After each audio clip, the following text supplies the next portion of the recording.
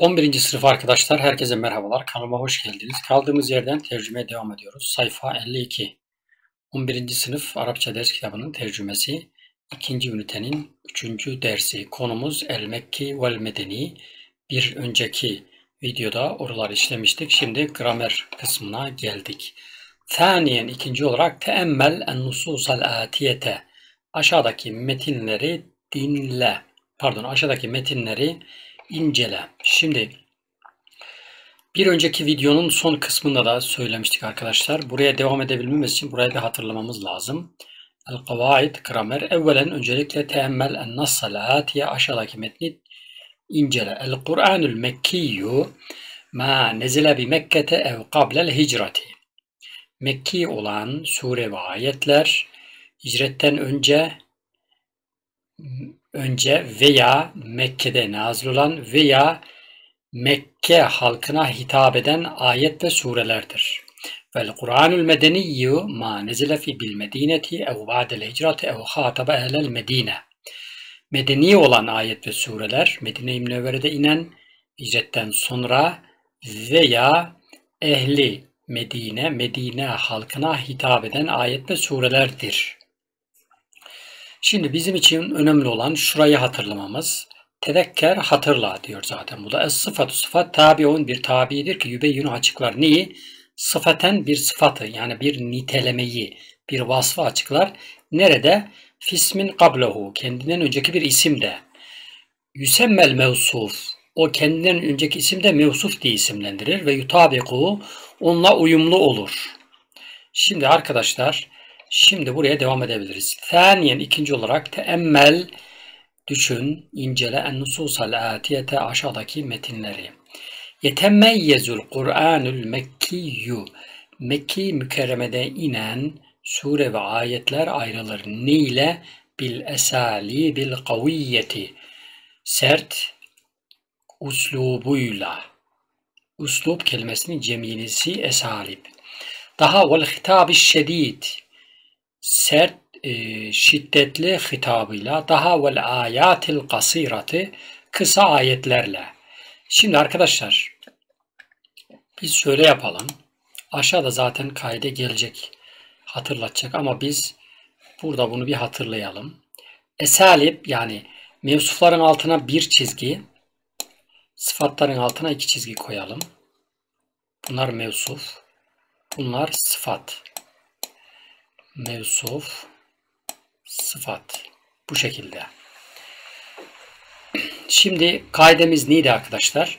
Müfretlikte, müzekkerlikte, tesniyelikte, cemilikte birbirine uyumlu olacaktı. Esalib, mevsuf, el kaviye, sıfat. Aralarında bir uyum var mı? Yok. Neden? Esalib, usluk kelimesinin cemisi, el kaviye müfret.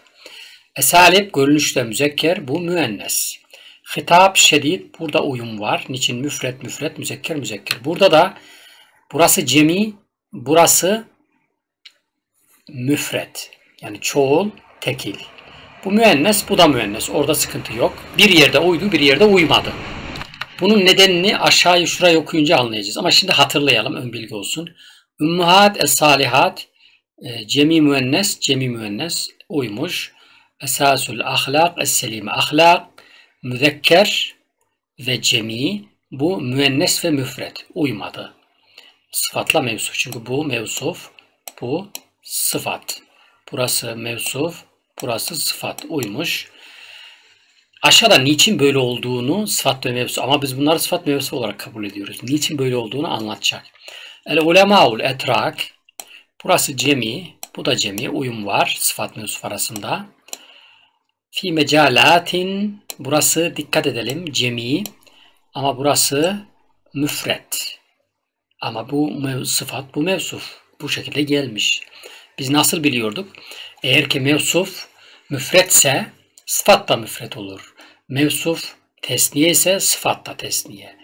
Mevsuf cemi sıfat da cemi. Ama burada mevsuf cemi sıfat müfret olarak gelmiş. Uyum yok. Öyle biliyoruz. Peki bu neden? Şurada bitirelim. El ulema el müslimun. Müslüman alimler.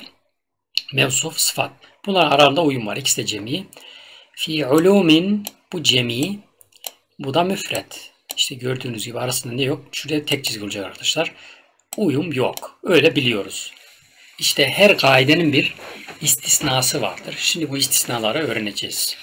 Buraya döneceğiz arkadaşlar. Karıştı gibi oldu ama merak etmeyin. Şimdi onu burada iyi bir şekilde anlatmaya çalışacağız. İnşallah anlayacağız. Lahif, dikkat et. Sıfatul cem'i gayrul akil. Cemi gayrı akilin sıfatı. La tutabiku uymaz, uygun değildir. Niye? El mevsufe. Mevsufa uymaz. İşte burası arkadaşlar. Bel tekünü, bel burada belki manasında değil. Ancak tekünü olur, müfredeten, muennefeten, müfred müennes olur. Kema fil misali, örnekteki gibi el esalibül kaviyyetu. Bu örnek neredeydi arkadaşlar? Şuradaydı işte gördük ya. Burayı şöyle işaretleyelim. Peki biz burayı toplayacak olursak cemi gayrı akilin sıfatı mevsufa uymaz ancak müfret müennes olursa uyar. Şimdi cemi gayrı akil ne demek? Arkadaşlar cemi gayrı akilin sıfatı şurası oluyor. Cemi gayrı akil burası bunun sıfatı da burası. Yani burada aslında cemi gayri akil denilen şey mevsufun ta kendisi. Yani şöyle de diyebilirdi. Mevsuf cemi gayril akil olursa sıfatına uymaz da diyebilirdi. Ama bu şekilde anlatılmış. Yani cemi gayri akilin sıfatı. Cemi gayri akil burası. Bunun sıfatı da burası. Aralarında ne diyor arkadaşlar? La tutabik el mevsuf. Mevsufa yani el esalibe esalibe uymaz. Yani müfretlik, müfretlik, müenneslik, cemilik aranmaz. Nitekim el esalib kelimesi cemidir. El kaviye kelimesi müfrettir. El esalib kelimesi müzekker diyelim. Cemi aslında müennes de el kaviye müennestir. Aralarında ne yoktur? Uyum yoktur. Bel ancak tekunu müfredeten müenneseten ancak müfret müennes olur. Yani sıfat müfret müennes olur gördüğünüz gibi. Burada buradan özetleyecek olursak şöyle diyelim arkadaşlar. Çünkü yorumlardan buraların anlaşılmadığını yazıyorsunuz. O zaman şöyle diyelim. Eğer ki mevsuf cemi gayrı akil olursa bu mevsufun sıfatı sıfatına uyum olmaz müfret müennes olarak gelebilir. Burada olduğu gibi görüyoruz. Bu kelime müfret ve müennes. Evet arkadaşlar burası bu şekilde. Tekrar toplayacak olursak uzatıyor değiliz. Yani anlamanız için buraya tekrar tekrar anlatmamız lazım. Cemi gayri akilin sıfatı. Cemi gayri akil ne demek arkadaşlar? Cemi, cemi yani çoğul. Tamam. Gayri akil aklı olmayan. Bu ne demek? İnsandan hariç her şey, hayvanlar dahil Arapçada gayri akildir. Eşya, nesne, herhangi bir şey. Mesela kalem, televizyon, telefon, e, bilgisayar bunlar hep gayri akil. Yani aklı olmadığı için bunlar müennes hükmünde oluyor. İşte bu esalib kelimesi de cemi gayri akil gördüğünüz gibi. Uslup çünkü bu bunun aklı yok yani bir, ne, bir şey nesne de değil yani bir şeyin tanımı onun için bu gayrı akil olan cemiler mevsuf olduğu zaman bunun sıfatının cemi gelmesi gerekmez. Çünkü sıfatla mevsuf arasında uyum gerekiyordu. Burada la tutabikul mevsuf. Mevsufa uymaz. Yani şöyle olmaz. El esalibul akviya. Yani normalde öğrendiğimize göre bu istisna olmamış olsaydı burası cemi. Mevsuf sıfatı da el akviya diye. Bunun cemi olması lazım. Buna gerek yok. Buradan bunu anladık. İkincisi B. Sıfatü cem'il müennes. Cemi müennes. Sin sıfatı yani mevsuf cemi müennes olursa onun sıfatının yecüzü caiz olur. En tutabikahu ona uyması caiz olur. Ve yecüz yine caiz olur. En tekune müfreden müenneseten müfret müennes olması da caiz olur. Burada iki şey var.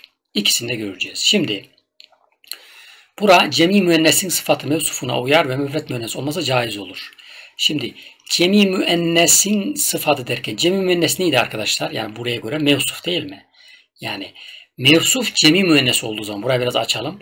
Mevsuf cemi müennes olduğu zaman onun sıfatına uyum sağlar. Yani mevsuf neyse sıfatı da öyle olur. Veya sıfatı müfret müennes olarak gelir. Peki nasıl? Şöyle. El ummuhatu salihatu salih saliha anneler derken burada cemi müennes olan kelime bu arkadaşlar. Yani mevsuf cemi müennes. Böyle olduğu zaman es-salihatu diye en tutabikahu buna uyum sağlar. Bu cemi müennes olarak gelmiş. Bu da cemi müennes olarak gelir. Mevsufu gibi olur sıfatında cemi müennes olması. Bu caizdir. Ve yine ikinci bir şey de caizdir. Yani gelebilir. Nasıl? Müfret müennes. Bakalım. El ayatul gasiratu. Burada nasıl olmuş? Şöyle olmuş. El ayat cemi müennes ve mevsuf. Bunun sıfatı el gasiratu müfret müennes olarak gelebilirdi. Burada gelmiş el gasiratu. El gasirat diye gelmemiş. Müfret müennes olarak gelmiş. O zaman şöyle anlıyoruz buradan arkadaşlar.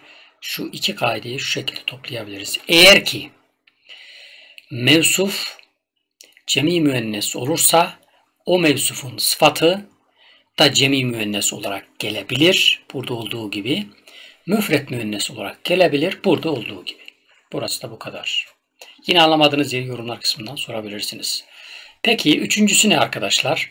Sıfatul cem'il akil tekunu mutabikaten lil mevsuf fil cem'i kema fil mithaleyni. Sıfatul cem'ul akil.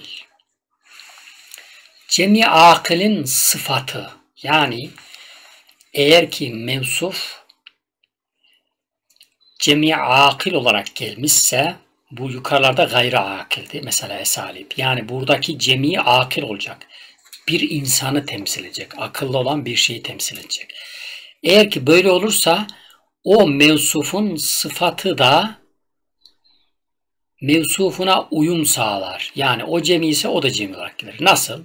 Şimdi el ulema'u kelimesi mevsuftur ve cemi akildir alimler. Bunun sıfatı el etrak o da ona uyum sağlamıştır. Cemi olarak gelmiştir. El ulema'ul etrak. Diğerine bakıyoruz. El ulema'ul müslimun. El ulema mevsuf, cemi akil yani çoğul ve akıllı alimler. El müslimun bunun sıfatı buna uyum sağlamış. Bu da cemi akil olarak gelmiş yani uyumlu olmuş. Mevsuf, mevsuf, cemi akil, sıfat cemi akil. Mevsuf, cemi akil, sıfat cemi akil. Yani akıllı ve çoğul. Türkler, Müslümanlar, sıfat bu şekilde. Mevsufa bakalım. El ulema'u alimler, akıllı ve lerlar var. El ulema'u alimler. Evet arkadaşlar burası da bu şekildeydi. Tekrar dönelim mi bilmiyorum. Size kalmış bir şey ama şöyle hatırlayabiliriz kısaca. Peki buradaki misaller şöyle burada dedim ya buraya tekrar döneceğiz diye. Burada şöyle yapalım. El ummahat bu B'ye ait. Bak dikkat ederseniz bu misal burada var. Şurası. Burada el ulemaul etrak şu var arkadaşlar. Burası. Şimdi şuranın manasını vermedik arkadaşlar herhalde. El ummatu salihatu saliha anneler esasul ahlakı selimeti doğru ahlakın e, temelidir. El ulemaul etrak Türk alimleri nehadu kalkındırdı, kaldırdı. Bir Türkiye Türkiye'yi yani ayağa kaldırdı. Fi mecalatin müteaddidenin birçok alanda, alanlarda. El ulemaul müslimun, Müslüman alimler ebeda'u icat ettiler. Fi ulumin kethiratin birçok alanda ilim icat ettiler. Evet, burası bu şekilde arkadaşlar. Tekrar üzerinden geçmek icap ederse şu şekilde. Yani eğer ki anladıysanız videoyu ileri alabilirsiniz. Ama biraz anlamadım diyorsanız tekrar dinleyebilirsiniz arkadaşlar. Çünkü bazen lafı çok dolaştırdığımızda yorumlar kısmında belirtiyorsunuz. Bunu yani lafı dolandırdığımı zannetmeyin. Burası çok önemli olduğu için biraz anla, anlamakta zorlanıyoruz. Ondan dolayı tekrar edeceğiz burayı. Eğer ki mevsuf cemi gayri akil olarak gelirse sıfatıyla uyum sağlamaz. Ancak sıfatı müfret mühendis olarak gelir. Burada mevsuf esalip kelimesi cemi gayri akildir. El kaviyeye uyum sağlamamıştır. Uyum, uyum sağlamış olsaydı el akaviya olarak gelirdi. Ancak burada dediği gibi müfret mühendis olarak gelmiş. Kısaca bu şekilde. Mevsuf eğer ki cemi müennes olursa bunun sıfatına uyum sağlar. O da cemi müennes olarak gelir. Müfret müennes olarak gelmesi de caizdir. Şurada uyum sağlamış cemi müennes, cemi müennes olarak gelmiş. Mevsuf cemi müennes, sıfat mevsu, cemi müennes. Burada da mevsuf cemi müennes, sıfat müfret müennes olarak gelmiş. El ayatul kasiratu de olduğu gibi. Son olarak üçüncüsü de eğer ki mevsuf cemi akil olarak gelirse bunun sıfatına uyum vardır. Aralarında el ulemaul etrak misalinde olduğu gibi mevsuf el ulema cemi akil el etrak da cemi akildir. El ulema cemi akil el müslimun cemi akil aralarında uyum vardır. Şurada arkadaşlar zaten şeylerini yazdık manalarını. Cemi akil ne demek? Cemi gayri akil bir de onları tekrar edelim. Cemi çoğul. Gayri akil akıllı olmayan nesne veya hayvan. Eşya. Cemi müennes cemi ama müennes. Burada e, gayri akil diye ayırmadığı için şöyle el ummuhat mesela burada nedir? Anneler. Burada nedir? Akildir. Şuraya bakalım. Cemi akil. Bu da insan ama cemi. Alim, alimler, alimler. Bu şekilde. Arkadaşlar devam ediyoruz. Yine anlamadığınız yerleri yorumlar kısmından sorabilirsiniz. El hulasatun nahviyetu nahvin hulasası özeti. Es sıfatu sıfat bunu çok tekrar ediyoruz arkadaşlar dikkat ederseniz arkadaşlar. Tabiun bir tabidir ki yübeyyinu beyan eder. Niye sıfaten bir vasfı bir niteliği açıklar. Neredeki fismin bir isim öyle isim ki kablehu kendinden önceki bir isimdeki niteliği açıklar. Yüsemma mevsuf bu da mevsuf olarak isimlendirilir. Yani kendinden önceki isimdeki vasfı açıklanan şey mevsuftur. Es-sıfatü sıfat tutabikul mevsuf, mevsufa uyumludur. Nerede? Fil ifradi, müfretlik, tekillik ve tesniyeti, tesniye ve cemil akil ve akıllı olan çoğulda uyumludur. Bu A. B. Sıfatul cemil müennes. Cemi müennesin sıfatı. Cemi müennesin sıfatı yani mevsuf cemi müennes olduğu zaman bunun sıfatı ve cemu gayril akil ve mevsuf gayri akil cemi olduğu zaman yecuzu en tutabikuha tutabikuhuma mutabakat uyum olmaları caiz olur ve yecuzu en tekune müfreden muennefeten Şuraya dikkat edelim. Yecüzü sıfatın olması caiz olur. En tekune müfredeten müennefeten müfret müennes olması caiz olur. Yani şurada elif b t arkadaşlar. Pardon elif b şuraların aynısı. Yani buralar bir dikkat ederseniz hulasa özet geçiyor. Özetini yapıyor. Tekrar onun için misal vermeye gerek yok. Yukarıda zaten uzun uzun anlattık. Da hattan bir çizgi çek. Tahtel mevsuf, mevsufun altına ve hatteyni iki çizgi tahtel sıfa, sıfatın altına fil cümelil atiyeti aşağıdaki cümlelerde. Allahu Teala Bismillahirrahmanirrahim. وَالَّذ۪ي يَنْزَلَ عَلَيْكَ الْكِتَابَ مِنْهُ آيَاتٌ مُحْكَمَاتٌ Sadakallahu azim. Şimdi arkadaşlar burada sıfatın altına bir çizgi çekiyoruz. Mevsufun altına da iki çizgi. Burası mevsuf. Bir çizgi sıfatın altına iki çizgi. Ne olmuş burada arkadaşlar? Cemi müennes olarak gelmiş. Ney? Mevsuf. Böyle olduğu zaman ne oluyordu arkadaşlar? İki şekil caiz oluyordu. Sıfatın müfret müennes olarak gelmesi, şurada onu diyor. Veya cemi müennes olarak gelmesi de caizdir. Burada cemi müennes gelmiş, burada cemi müennes gelmiş. Bura muhkemetün diye de gelmiş olsaydı o da caiz olurdu. Ama burada olmaz. Niçin? Ayet-i kerimede bu şekilde. Başka misaller verip caiz olur mu? Olur. Ama burada olmaz. Çünkü ayet-i kerimede olduğu için onu değiştirme yapamayız. Bismillahirrahmanirrahim. Ve cealna fiha ravasiye şamihatin ve esqaynâkum mâen furata. Mâen furat. Tatlı bir suyla sizi ne yaptık? Suladık. Şimdi arkadaşlar buraya bakıyoruz.